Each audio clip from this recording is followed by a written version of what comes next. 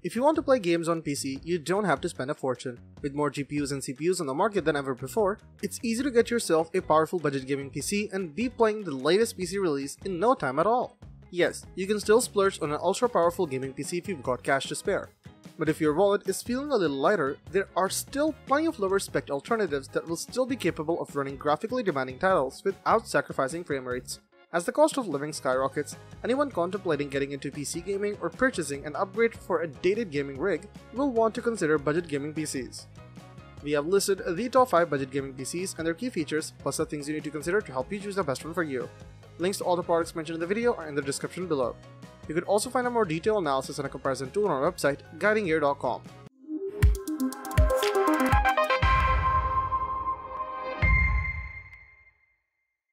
Number 5. Alarco Gaming PC. These gaming rigs from the brand Alarco have sort of been in the spotlight for a little while now due to the craziness happening in the GPU market these days because there are hardly any affordable gaming rigs available on the market. That's where apparently Alarco PCs come in. The main differences when it comes to overall features of each Alarco desktop is with the case design and how many fans come with it.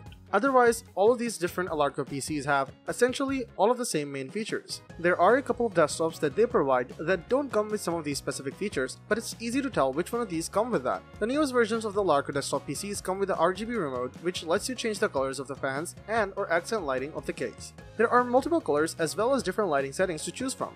There are two USB 2 slots on top of the case along with a single USB 3 slot. Then there are some of the other slots available at the back of the PC from the motherboard. That brings a total of USB slots to 3 USB 3 and 4 USB 2.0. There are 3 intake fans in the front, 2 exhaust fans on the top, and a single exhaust fan in the back. The side panel is tempered glass and altogether it's a good looking aesthetic with RGB fans and the case put together as a whole. Plenty of ventilation going on as well. That covers everything when it comes to the main features involved with these Alarco PCs. All of the Alarco gaming desktops come with a GTX 650 1GB graphic card. This card is several generations old, but it makes sense when it's included in these desktops. It's near impossible to get any newer video cards today, hence why so many folks are interested in the older cards just to have a PC at all. If you're trying to play some sort of the newer titles such as Call of Duty Warzone, Cyberpunk 2077, or Apex Legends, you're going to have a rough time playing them. They are hardly playable at all with a GTX 650 graphics card. Alarco says in their product page description that it's able to run Fortnite at around 30 FPS average on lower settings as well as GTA 5 on lower settings. And this is true. You'll be able to run some of those older or more optimized games at lower settings and 1080p resolution. Number 4. MSI Aegis SE if you want more storage capacity without messing around with configuring a build, the MSI Aegis SE is an almost perfect option. It comes equipped with a 512GB SSD, so you don't have to worry about large game downloads hogging drive space, and 16GB of RAM ensures faster app launching and game loading. The NVIDIA GeForce GTX 1660 Super may be an older card, but it is more than capable of handling games like Apex Legends and Red Dead Redemption 2. The 10th-gen Intel Core i5 CPU can be overclocked to 4.3 GHz for all the power you need for more intense gaming sessions and the customizable RGB lighting in the tower case lets you show off your personal style. Number 3. HP Pavilion Gaming Desktop 2021 With a design similar to HP Pavilion TG011022, the HP Pavilion Gaming Desktop looks attractive with a classy faceplate with inverted V-shaped pattern and customizable LED lighting at the bottom, next to an HP logo. If you need a desktop that looks great on your desk, you should seriously start from here.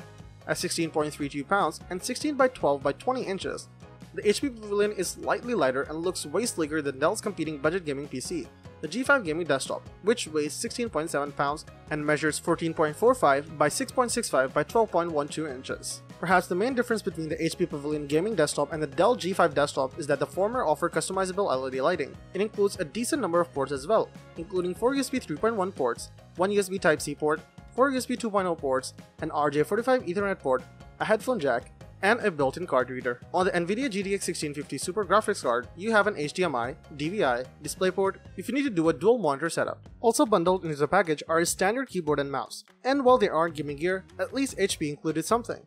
However, the package doesn't include a monitor.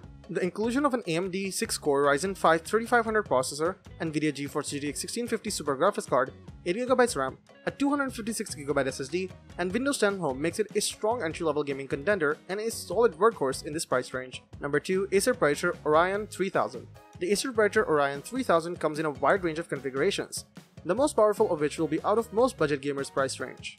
However, the base configuration is much more accessible at below $1,000, coming with a GTX 1660 graphics card and Intel Core i5 processor, backed by 16GB of RAM. This model is no longer available directly from Acer, but still can be picked up from retailers and should provide more than enough graphical oomph for gaming at 1080p, even in a post-RTX 3000 world, without needing to compromise too much in the graphical setting menu. Despite being a powerful gaming PC with good potential for piecemeal upgrades further down the line, the Predator Orion 3000's chassis isn't oversized like some gaming rigs. It's been thoughtfully designed to fit beside a monitor or beneath a desk, and the vented front and side panels mean the thermal performance is excellent. It's got that much desired gamer aesthetic too, thanks to RGB lighting and a big triangular power button that is very satisfying to press. Number 1. CyberPower PC Gamer Extreme These days, gaming PC's architecture can deliver the performance needed if correctly specified, for less money than ever before. As designed, the front panel features a trio of LED circles, a transparent side glass panel, and an LED lit cooling fan on the rear, you have 6 USB 3.1 ports, 2 USB 2.0 ports, an Ethernet port, and a 7.1 audio channel output. For multi-monitor setup, you have an HDMI and DisplayPort. Wireless connectivity comes via 802.11 AC Wi-Fi. Looking at its features, this machine can easily double for both gaming and productivity. Our unit comes with a 10th gen 6-core Intel Core i5 10400F processor, 8GB DDR4 RAM, and 500GB SSD storage, alongside a 6GB NVIDIA GeForce GTX 1660 Super graphics card. This is enough power for gaming, web browsing, photo editing, medium productivity tasks, and some moderate video encoding. The NVIDIA GeForce GTX 1660 Super will deliver decent frame rates on most modern games at high settings played at 1080p resolutions. This chip is a refresh update on the GTX 1660 Ti.